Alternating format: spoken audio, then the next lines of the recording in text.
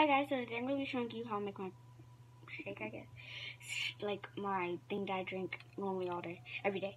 Uh, so I have my ice with this glass, and then we have this uh, sidekicks, 40% more protein, 25% fewer calories, balanced nutrients to help fill gaps.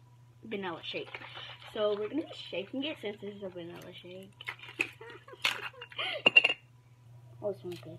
So we just add it to the cup. It looks like coffee, I know. That's a vanilla shake. what beer store? Getting this. Okay, so I lied about I tried this all day every day. I'm gonna be trying it now.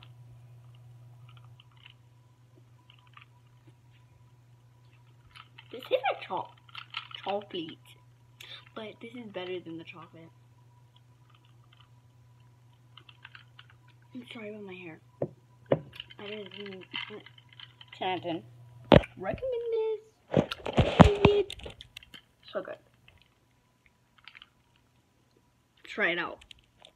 Walgreens. You get these from Walgreens. But bye guys, like, subscribe, turn on post notifications so you never miss any bangers I post.